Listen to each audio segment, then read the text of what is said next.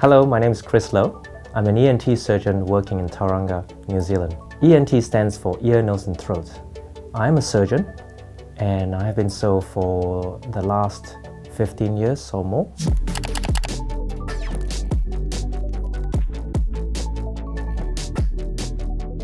So a typical day for me would be uh, either seeing patients in the clinics or doing operations in the hospital theatres. Um, so I get to meet on average about seven or eight patients in half a day and if I have clinics both in morning and afternoon I could probably see around 15 to 20 people sometimes. So this is my um, private clinic uh, it's a very quiet um, and nice setting, very comfortable for patients when they come and see me here. My usual tools when I see a patient are uh, one of these. This is uh, what we call an auriscope or an otoscope. This is what I use to look into people's ears.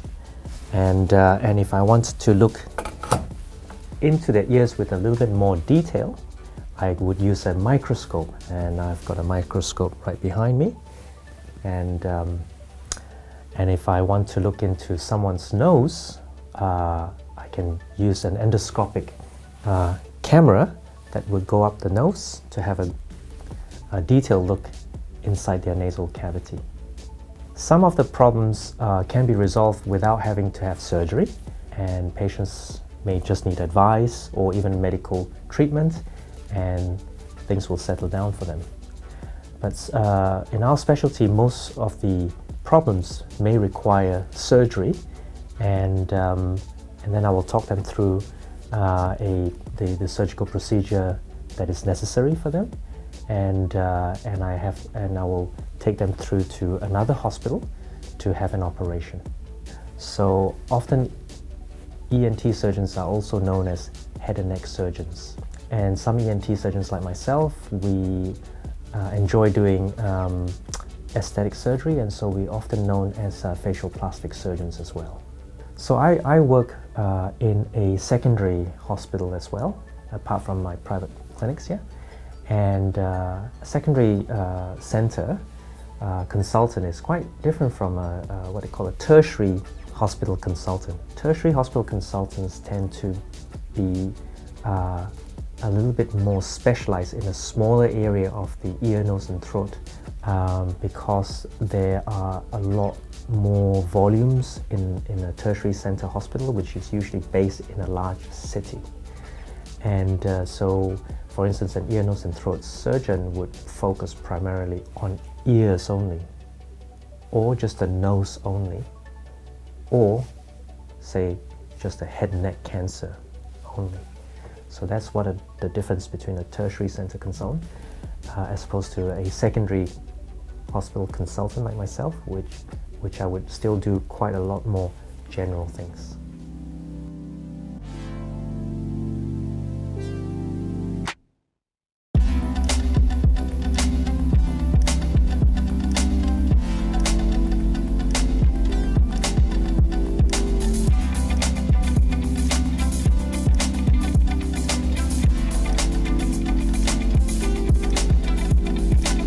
So here we are in, this is the operating theatre I normally work in. Um, in the operating theatre you've got to have enough space, it's quite spacious here. They've got good lights and, uh, and a very, very good strong operating table where the patients would lie on. Um, in, an operating uh, in an operating theatre you will also find an anesthetic uh, machine and that's the machine that uh, uh, my anesthetist would um, put patients at ease and put them to sleep very, very soundly. And so they keep very still for the operation.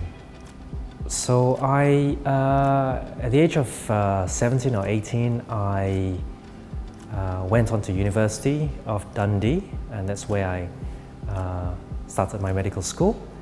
Um, it's one of the, it's a fantastic medical school, and I've enjoyed all the, um, the activities uh, that they provided there in my training.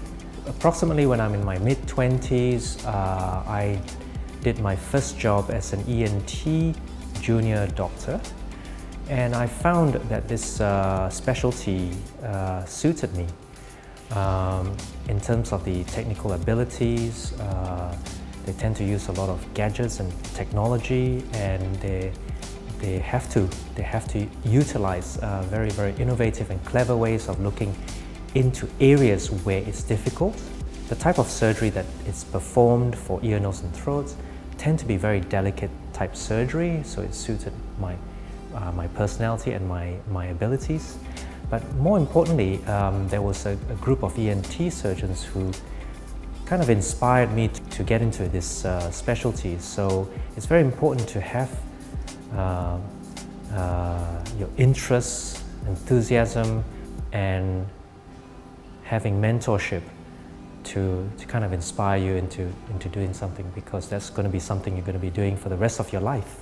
So getting into med, uh, a, a, medical career is really exciting and uh, but there are some, some of things that you know if, if you don't have a, uh, an insight because you, you've not come from a medical background um, you, you'll be quite surprised when once you get into it uh, there are some of the some there are some things that can be quite uh, difficult.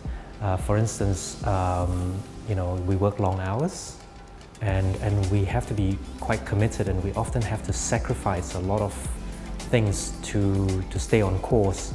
Medical career can be quite a selfish career and you have to stay very focused. But um, what really keeps me going is uh, at the end of the day, when you see your patients being treated and they are very happy grateful and thankful to you, um, that brings me a lot of joy. Um, sometimes I get the occasional letters uh, of compliment uh, and thanks. Yeah, these are the kind of things that keeps me going um, when I encounter some difficult challenges.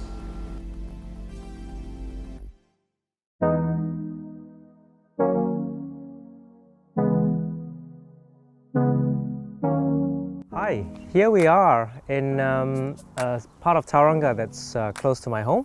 This is called the Lakes because there's a lake behind me. Um, it's an awesome place uh, to relax and to, um, to unwind and you can even do activities like kayaking. I know what you're thinking.